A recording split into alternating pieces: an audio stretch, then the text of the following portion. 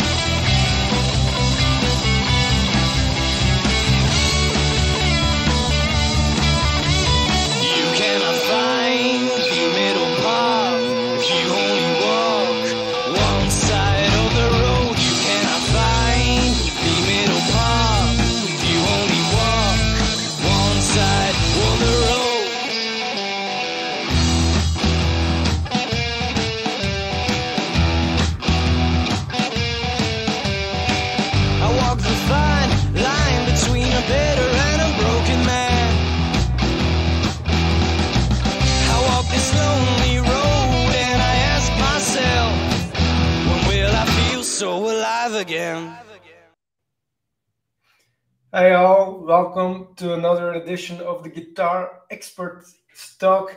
I have a very special guest with us today as we will be talking about the best blues guitar exercises to do as a beginner. So, whether you're a beginner or not doesn't really matter because it's always good to check if you covered the bases. And that's why we will go through uh, a lot of very useful topics, whether you're a beginner or not. So I'm very excited to present to you Maurice Richard from Canada. Hi, Maurice. Hey Antony, how you doing? Great, great. And you? I'm doing awesome. Thank you very much. All right.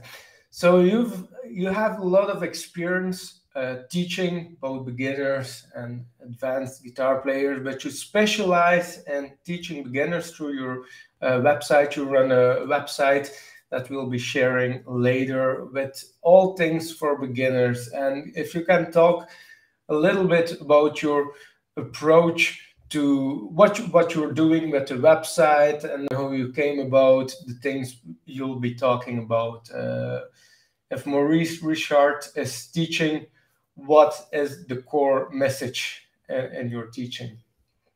Um, all right. So as far as um, so I, I, have been teaching guitar for for a long time. I've taught hundreds of students offline first, um, and building from that experience. Um, you know, it's how do I take that philosophy that I've learned and and try to apply it online? It's not it's not the same, but Um, the, the main focus of mine is to help people to actually play. Um, and um, information is great, and there's lots of information, but if you can't use it, if you can't play, um, what's the point? So my approach is just grassroots, getting people to put all the, the, the main elements together and being able to actually play something. So I build everything from that premise. Right. Sounds great. And I agree totally. It has to be fun when you're learning the guitar, both for beginners and even more advanced, but they have their own sets, set of challenges. They have other challenges, as you know, than beginners in general. And it's really cool to be talking about uh, the topic of best exercises for blues guitar for beginners then because uh, there's so much out there as you said there's so much information but where do we start if we like you said want to get our students be playing as fast as possible? What are some of the exercises that you do with your students or uh, any other exercises that you would prescribe to someone who just who's just starting out with the instrument and maybe can play a few open chords but then want to wants to get into blues guitar playing? Right on. Okay well that's awesome. So um, what the way i would approach it is um, knowing a few chords is a good thing, but I would want to make sure that people, first of all, can can actually use them properly. Um, and it's not hard to get into blues at this stage. Um, what you can do is you can start with some simple blues chords. Um, but the most important thing is is to me in music is rhythm, and it's be able to take the chords that you know and apply them to some sort of rhythm, whether it's simple or not. But first, you need to actually know the chords to be able to apply them. Now, I would start if we want to start about uh, uh, you know with blues chords that I would teach people. I would start with some of the simpler ones. Um, there's some two finger chords that you can use, and some um, you know some three finger chords that are, are fairly simple. Um, and I would start with um, the chords I would pick would be A7, uh, A minor seven, uh, D7, E7, um, G7 are probably the main uh, first ones. G7 is probably one of the harder ones for beginners uh, because of the, the, the, just the way your hand has to to reach around. Um, and then uh, once you kind of get a grip on those, I'd move to more advanced ones like B7 and C7, things like that. So uh, the most important thing uh, at this stage would be how does someone learn? So how would someone learn new chords um, so that they get them right the first time? Uh, so that they can use them as soon as possible. So one of the first exercises I teach my students on how to learn chords is uh, this little process that helps them to kind of program that into their brain so that the chord that they're using is the, the proper one, the right technique. So I use what I would call uh, chord push-ups. Um, and we're just going to do it with, uh, you know, a really simple chord. Um, so let's uh, let's say we're going to use D7 for example, and D7 is just down here, and you can look this up later. The point is the exercise, what you do with the chord. So you can do this with A7, with any other seventh chord, which are very prominent in blues music, and that's why I would go to seventh chords in this case. So what I would do is I would put my fingers on the right frets, and I would make sure my fingers are all in the correct place.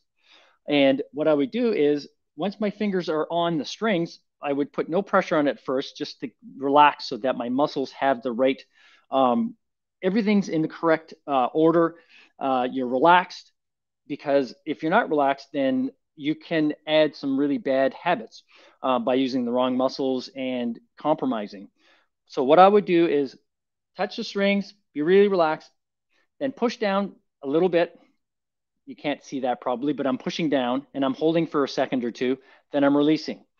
And I would do that five, ten times, and that will teach your brain to recognize that shape as one entity instead of three different fingers.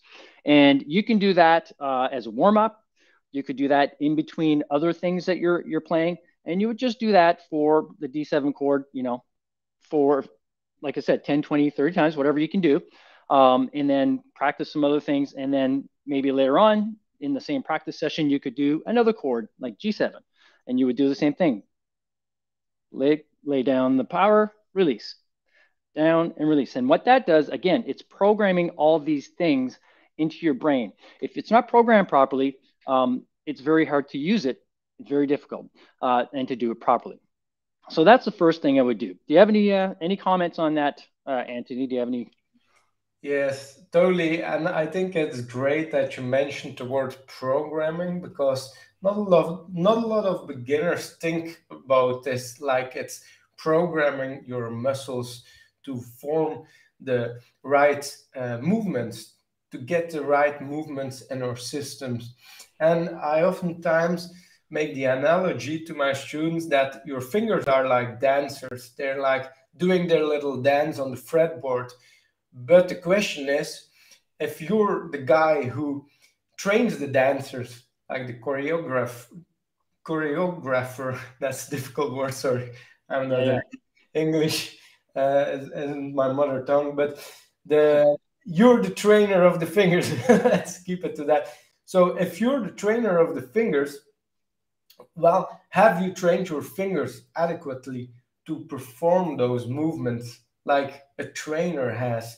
Um, and if you're uh, in control of these four dancers, do you go tr- through the right uh, motions with them each and every day you practice, or are you just going through open chords and then your mind is wandering? If your mind is wandering, then you, the trainer, isn't doing a good enough job of training your dancers, so to speak. So I think, at least for myself, that's uh, that's been an analogy that I like to use a lot in my own practice as well.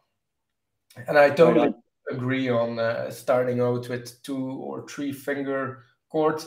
And even for people who have been playing for longer, like I mentioned in the beginning in the introduction, like you can get a lot of value from detuning out of more advanced stuff. The advanced stuff is great, but oftentimes people are people that are into intermediate levels, they focus heavily on uh, really advanced stuff and they never get back to the root. So such exercises are also good. And nevertheless, uh, your playing level. So a great reality check for yourself is to play a B7 chord.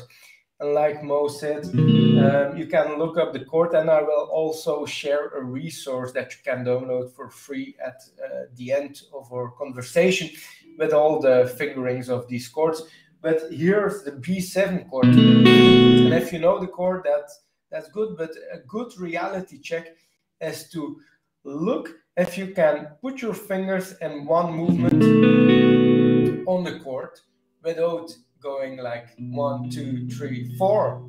And you want your fingers to move in one motion. Uh, so that's the, the great exercise that Maurice has shared. And I think if you can do it, and you can also play each string separately and it rings out fine, that's that's great. You're doing great job. But oftentimes it's a reality check, and we can never um, we can never let our ego run the show. Like if we go, even if we we're playing for more than 20 or 30 years, there are still things like this we need to check for ourselves if we're able to do it and we can do the same thing then with more complex chords and it's a never ending process but if you allow your ego to step in through then it, it doesn't work so that's a warning for people who've been playing for uh, for years and years so uh, we need to uh, maintain a beginner's mindset beginner's mind and if we think we can do it then we need to check it. And if you then can do it, well, good job. But never think, well, I should be doing this because a lot of time, even people who play for years can't do a B7 chord in one motion. All right. And I'm also speaking from personal experience because I, I used to be like always looking for the next best thing and trying to get more advanced, but it's your foundation that is also very important, uh, even at the higher levels. So take care of your foundation. Not sure if you have any thoughts on this, uh, Maurice. I will add one more thing to that, and then I'll I'll move on to another topic. But um, uh, I had some really really bad habits. You know, I played, I taught myself, and um, I think it was after 15 years of playing, um, I was able to correct a lot of my really bad habits on any a lot of chords by using this method. This is how I learned it actually to correct bad habits. Um, I'd given up on certain chords like B7, um, even after playing for a long time. Uh, and using this method, I was able to learn it very quickly. So, uh, correcting bad habits uh, and learning new ones, uh, this is a really good way to do it. So that's that's the thing. And for people who already know how to play, and you know you have bad habits, first of all, the key is to identify it, to be able to know you have a bad habit, and then knowing how to correct it. So this is one way you can do that. Um, the next thing that leads from this is okay, it's great that you can form a chord. And like Antony said, you can put your fingers down all at once instead of, you know, doing what we call the spider legs, uh, one, two, three, or spider fingers. Um, the idea is to uh, keep raising the distance from the strings so you can do it all in one motion and all your fingers are landing. But the next thing is we don't want to just use this chord by itself. So if you're going to play a guitar, you're going to change to another chord. So the next step is to is I'm going to show you how I teach people and how I overcame some some problems changing chords, um, and a great exercise to do that. Now this one takes a little more discipline, so I'll give you the two the two versions. There's the you're the disciplined type of person that will sit down and do this uh, step by step exactly the way I say. And for you that are less patient, there's another kind of shortcut. Um, it, it, it's not a shortcut; it's just a smaller process, but it takes longer to get the result. But you feel better as you're doing it. So um, it, it all depends on your personality. You know yourself better than because I don't know any of you. So so let's say you want to go from uh, a D7 chord and you would like to go to um, another chord. So let's say you want to go to, and we're not going to pick necessarily all just seventh chords, but we could say, let's go to E7, okay, in this case. So I've got a D7 chord. I'm picking easy ones.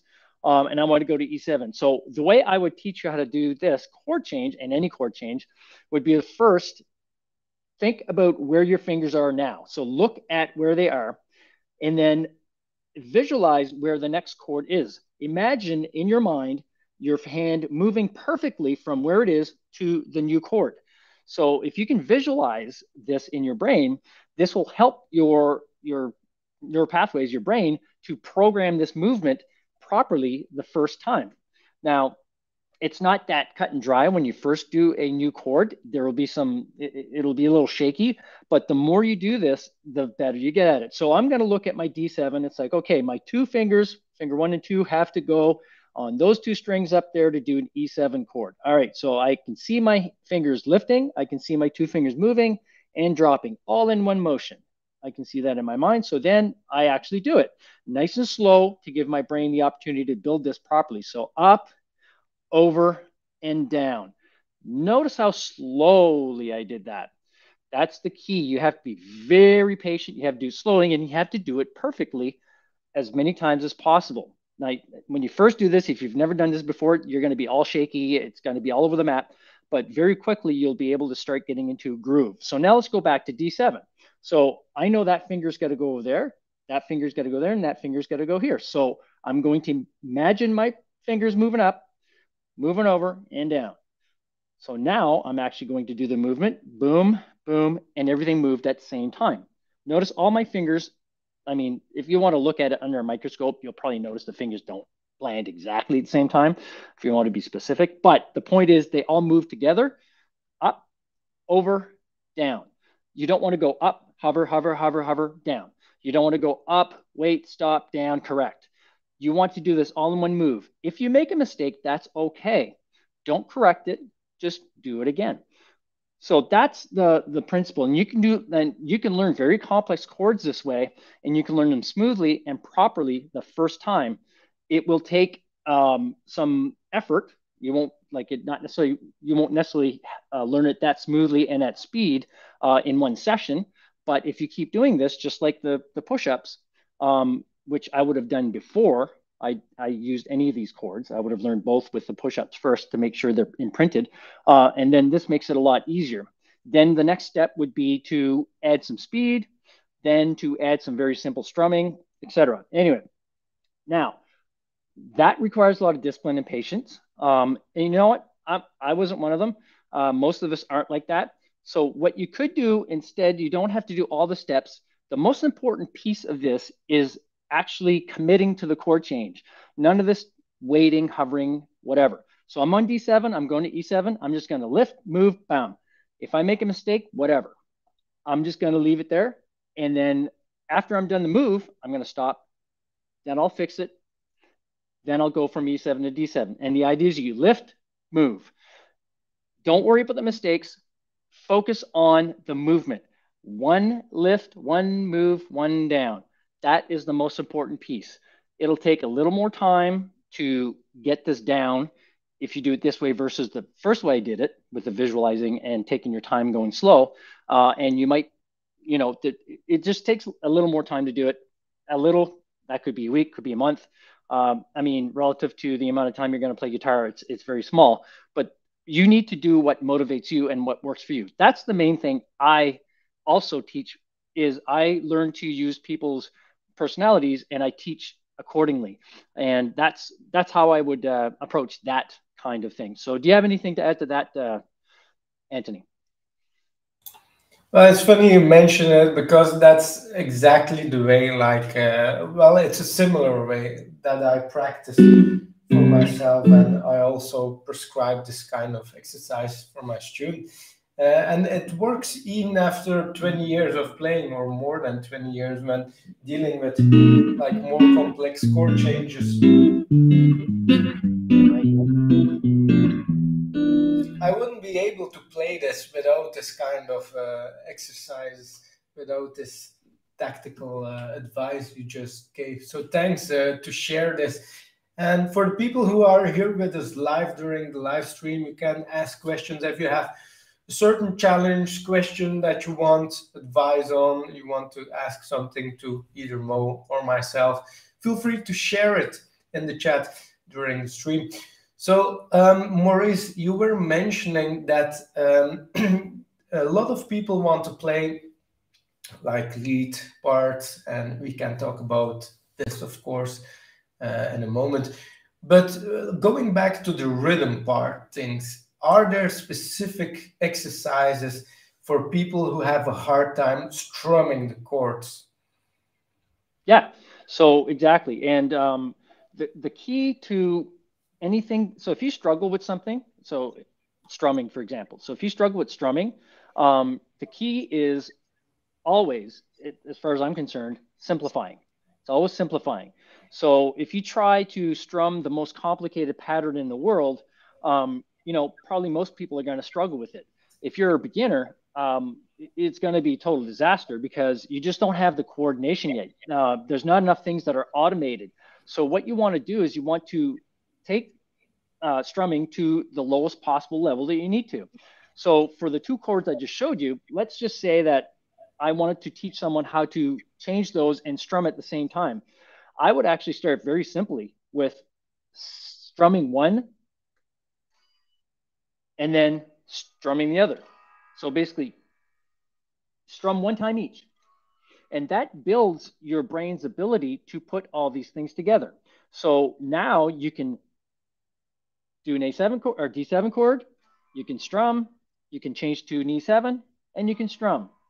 You can change back to D7 and you can strum. So that starts to build, again, that process in your brain. We're mapping things out.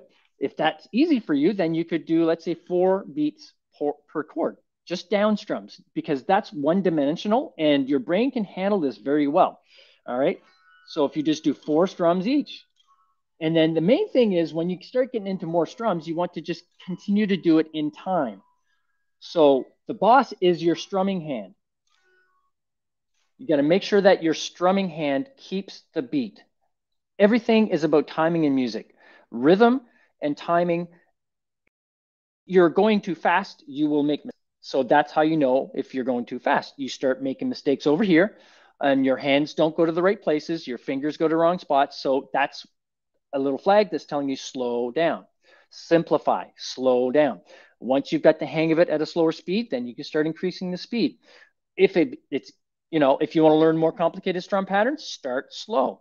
So once you can do it with those strum patterns, I mean, it's going to be very difficult to do it with a complicated strum pattern if you can't do it with what I just shown you so far, right? So build on those kinds of things. You can do a very complex, like more complicated strum pattern slowly and have success. So let's do, uh, you know, another one. Down, down, down, up, down, up. That's a pretty popular strum pattern. So down, down, down, up, down, up. I'm just going really slow. If you can't do that, slow it down. So it's all about building on what you already have. That doesn't mean you should stay at just downs forever. Um, you should challenge yourself and you should have some fun too. But if you want to develop your skill set and not get bad habits, you should really focus a lot of time and energy on doing it properly and finding that level where you can handle it and get success. So that's how I would teach people how to take the chords they know, and I would do this with chords I know, not necessarily the most difficult one, difficult ones I just learned, um, and start to build my ability to stay in time and keep a rhythm moving. Because there's nothing more important than that flow and that timing in music. So that's that's my approach there. All right, great. I want to add something about what you mentioned about strumming patterns, like the down, up, down. Uh, it was down, down, down, up, down, up, right? So this strumming pattern, whether you're using this specific example or other strumming patterns, can also be very good to develop your timing and timekeeping skills because a lot of beginners have um, um, experienced difficulties really to do this while tapping the foot. And like the strumming pattern that Mo just mentioned, if you're experiencing trouble with tapping the foot along that pattern, just know that it's also a great thing to practice it from a coordination point of view and to strip everything like Mo uh, was saying about we need to simplify things if, it, if they are too hard. And if you can't tap your foot, you need to simplify the strumming pattern by not using any rhythm on it. So you can do down and now I'm tapping my foot at the same time. And you can just use words if you want and just say foot and hand. And then you go foot and hand again. And then again, foot and hand. And then we have the hand that goes without the foot. And then foot and hand again, hand. And in this way, it might sound like ridiculous, and it looks a bit ridiculous probably, but this is great practicing because now we are removing the barrier to entry and to tapping the foot while strumming along. If this is too difficult, simplify it by just getting the basic motions down. And that's actually how I learned drumming.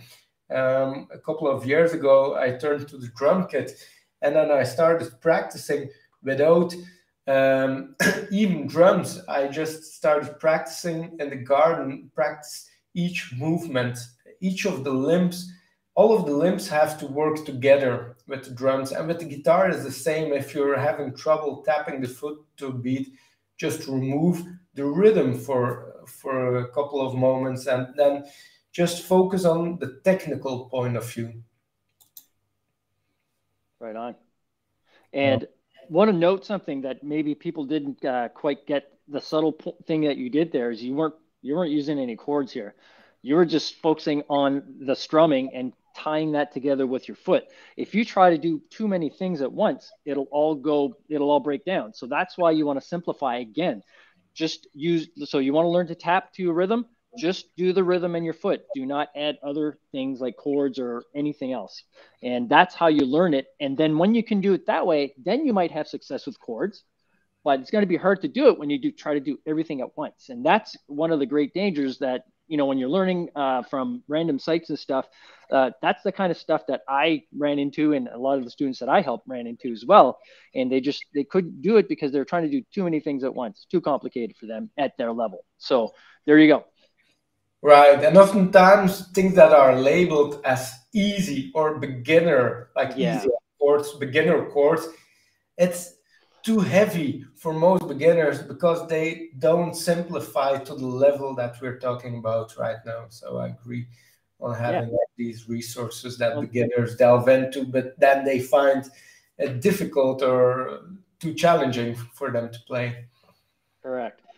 So I wanted to uh, take this. Uh, so the rhythm, I wanted to take it to another level and make it a little more about blues now. Um, that what we just talked about was just you know general um, rhythm. So one, there's one thing that uh, that's very common in blues, and it's uh, the the swing beat or the shuffle beat. Um, you you probably uh, know the difference between the the two if if they are better than me. Uh, you're the expert in that area, but um, uh, it's got a kind of the same feel. So um, the idea is um, when you have uh, just a straight rhythm, you know, down up down up down up down up um, that's just what we call just straight uh, eighth note strum pattern. Um, and in blues, a lot of times what we do is we add this this swing beat or shuffle beat. And what what happens is you take those those down and ups and you kind of skew them in a way. And I'm not going to get into the technical stuff. I'm just going to kind of give you the idea of how it works. And the way I teach this to people um, is um, I actually get people to instead of doing down ups, I get people to start with just eight down strums. All right. Again, the reason I do this is because it simplifies it in your brain. It's a one dimensional strum pattern. And what happens is, so instead of doing down, I'm starting to go down, down, down, down, down, down. So eight strums. So eight strums would be four beats or one bar. So what we're going to do now is we're going to turn that into a swing beat, shuffle beat. Okay. And let's start with just a, a straight one. And I'll do the count. And I'm just going to count using uh, numbers. Uh, it'll just be a little easier. Um, and so the count for eight down strums would be one, two, three, four, five, six, seven, eight. So if we want to add a shuffle beat, we're going to have to take all the odd numbers, all the down strums, the the the, uh, the beats, and we're going to make them longer than the even strum. So what we're going to do is I'm going to give you what it would sound like. Okay. So one, two, three, four, five, six, seven. I don't like, actually, I would probably do to four. I, I keep forgetting the seven does the, uh, there's two vowels there or two uh, syllables. So let's do one, two, three, four, one, two, three, four. So one, two, three, four, one, two, three, four. So you notice that all the odd numbers are longer than the even numbers. And if you can visualize that, you can think about that, you can take a simple strum pattern and you can add a swing beat to it.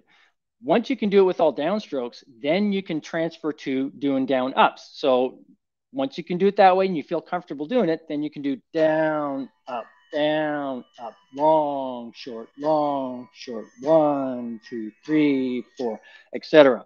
So that's how I would transition into a more bluesy kind of um, shuffle swing beat from just a natural straight beat. If you can't do it with just straight downs or down ups, it's going to be very difficult to add that kind of texture, that kind of rhythm to more complicated strum patterns. So I would start there and build from that. All right, that's a great exercise. Uh, I have a similar approach to this. I use like the Morse code thing. So it's again probably like it's uh, semantics from what you said, but it's long, short, long, short, and then the long. I play it on the downbeat with my students, and then we oftentimes start out with an up uh, an upstroke on uh, the shorter version. So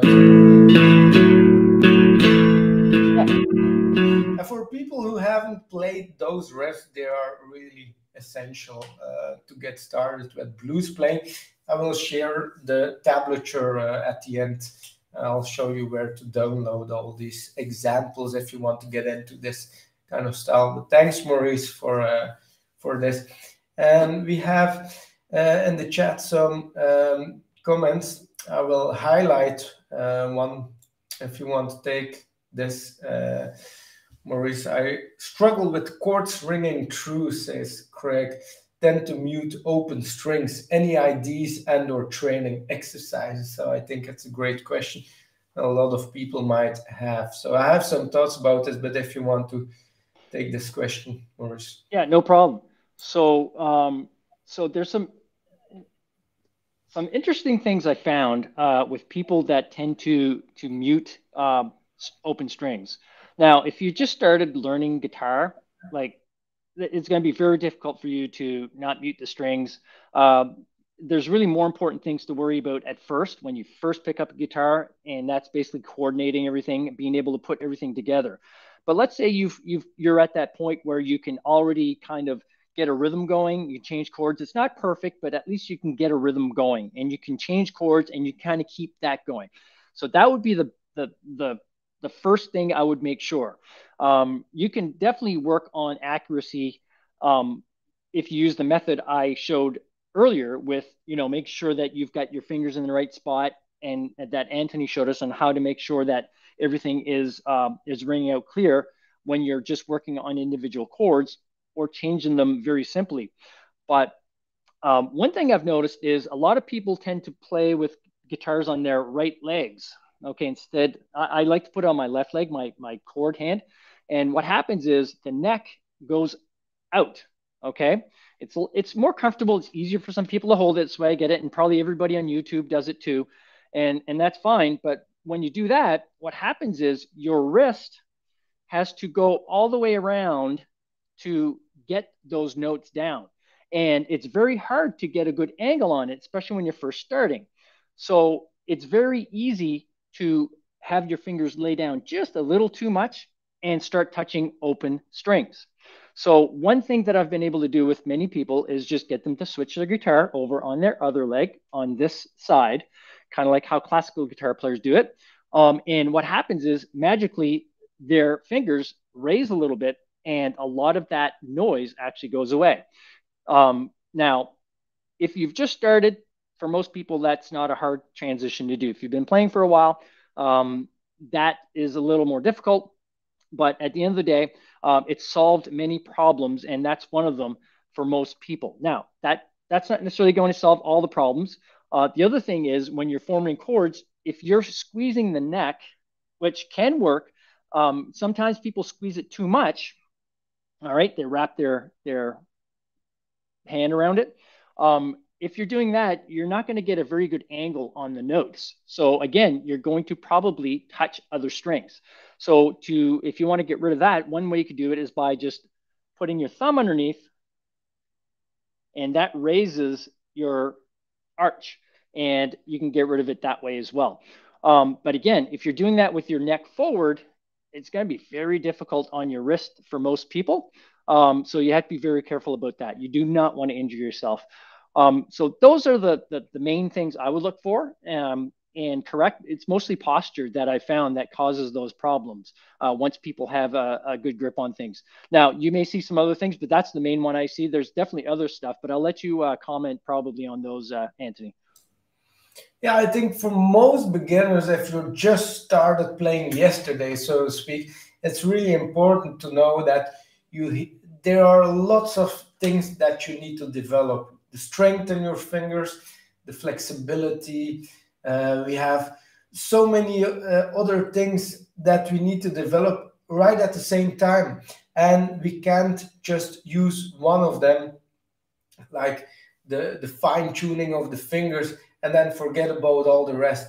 Most of the time, it's all tied to each other. And like if you're just playing a C chord, for example, you might notice that your fingers at the beginning tend to do this like they tend to drag each other down. So we need to build the strength in your fingers but then also at the same time the flexibility and the spread in your fingers and then you have the calluses on the finger stop so if you're a perfectionist type of person then you want to do it all at the same time but you won't get a good mileage out of this approach because there's so many things like i said so you want to take it one step at a time and also be patient and if you're practicing on chords, for example, and like Craig in the chat just mentioned that he has sometimes issues with chords ringing uh, out fully, like some of the strings are muted. If you're in this position, then uh, if you started playing yesterday, just play and don't worry about this little muting. If you've been playing on the other hand for a couple of months, of course we need to check.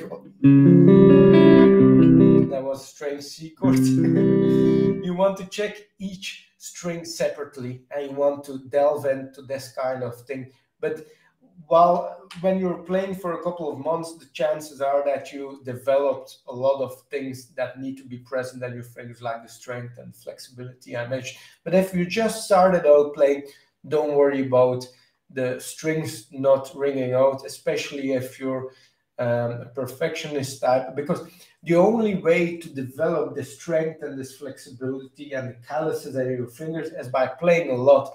And what perfectionists tend to do is they tend to stop practicing because they can't get it perfectly. And if they try to play each string separately and it doesn't ring out, then they're freaking out and they stop practicing altogether until they have it perfect. So if you're in this if you're in this group, I would say just practice your chords until you have the strength and the calluses and flexibility, and your fingers aren't doing this. And then when you have the strength and all the other things, just focus on all the other strings, uh, well, uh, the, the strings ringing out true. So, all right. And then Robert in the chat is also sharing a comment about this exact topic. Uh, he's saying, I suggest um, use a lighter touch and form the chords with fingertips and not the fleshy part of your finger. So that's a great comment. Thanks for. Uh, it is actually, you know what? That's the other thing I was actually going to mention. Um, a lot of people want to make it sound good, so they push really, really hard.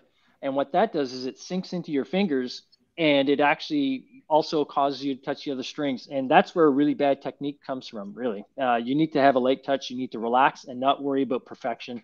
Um, so good, good job, Robert. That's uh, awesome. All right. So we have some great things to share. And uh, Maurice, we mentioned also in the beginning the lead part. Um, I'm going to invite you for another live stream so we can talk about playing lead if you're starting out. Um, these are great things. But you have um, something special for us that I'm going to share here on the screen. It's your beginner course. So for people who are live with us uh, or looking at the recording afterwards, maybe you can mention something about this course. Right on. So this this course is is great. It's uh, it's been developed by experts. It's been used for years. I use it in my own offline school. Um, and I know many teachers around the world that use this course as well uh, in their offline schools. And the, uh, the, the nice thing about this course is it's good for total beginners. It'll teach you all the right things that we just talked about today. Um, and, um, you know, how to get your fingers the right way, how to, uh, you know, take care of, make sure you you have strength, dexterity, and all the, those things, and, and really work on your ability to do all the right things, teach the right techniques. So if you're starting out, it's a really good way to build the foundation strong from the beginning with the right things. If you already know how to play, this is an excellent course for someone who wants to find out if they have some gaps in their playing, you know. Um, and I had tons of gaps, you know, when I started, when I finally found a, a teacher to help me, uh, I discovered a whole bunch of problems in my playing. And uh, this course is a really good way to learn how to find, identify, and then fix some of these gaps that you may have in your playing that could help tie things together for you and take you to the next level. All right, thanks for sharing, Maurice. So you can people can get the course. It's uh, for sale uh, through the link below on your website for beginners.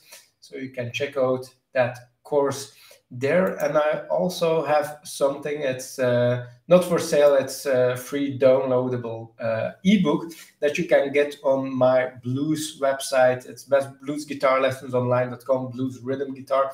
So all of the chords we talked about, like the D7, B7, A7 chord examples, Also, the riffs that uh, the, the little riff that I showed you uh, is in that uh, rhythm ebook.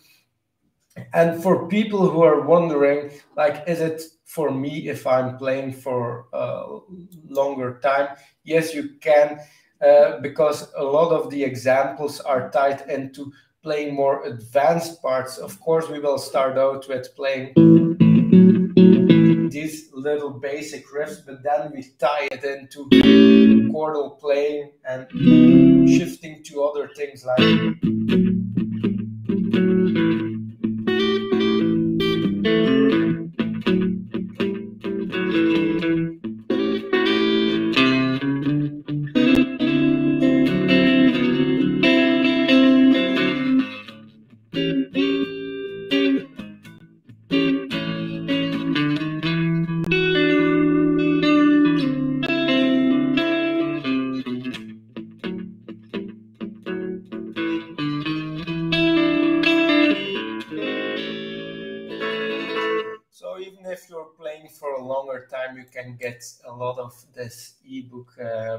that you can download for free on my website. So the address is also there to be found at the link here.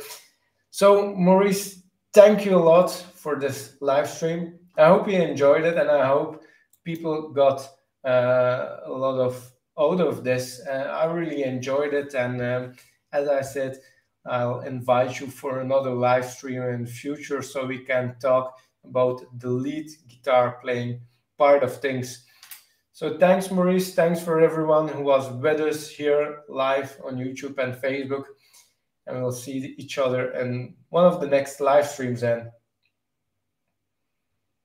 Awesome. Right. Thank you very much. That was fun. Cool. Bye. Bye.